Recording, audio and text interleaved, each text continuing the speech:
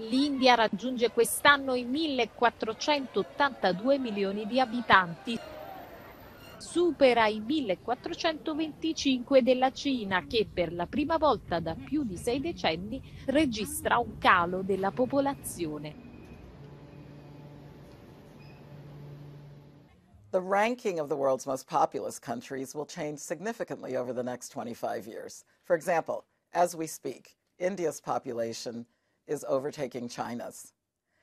Everyone wants to know what all of this means, and without a clear answer, there is a serious danger that human rights, and particularly reproductive rights, will be undermined.